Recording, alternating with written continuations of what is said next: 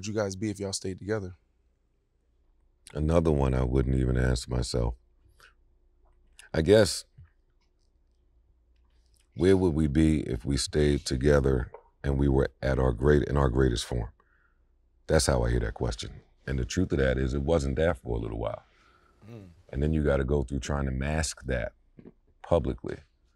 And that's back to people having their own visions and how to do this, how they want it to go, how they want it to feel, what deal you should take, what deal you shouldn't take, how you should go. It's just too many chefs. It's too many chefs. So we went through that for a little while. And it's tough because when you start working with your friends, sometimes you speak less on the friendship side. Mm. Like we just working, we get into it. Now some of that communication fades. With that, trust fades. Some other things start to fade. You watch a friendship deteriorate, but now you at work. Again, this is in real time. So to answer your question though, if if none of that existed, sky was the limit.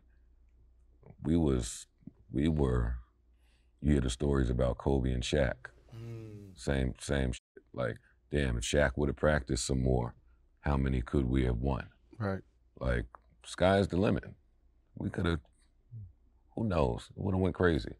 Unfortunately, didn't go down like that.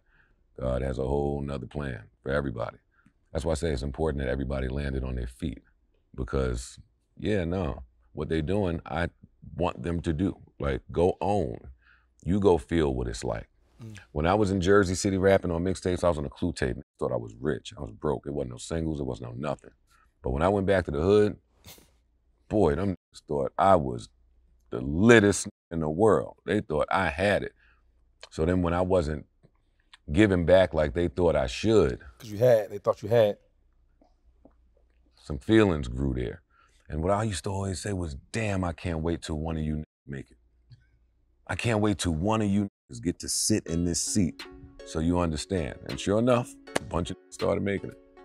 And a bunch of started to understand. Like, so. Heavy as the head that wear the crown. Yeah, mm. it's tough. It's tough.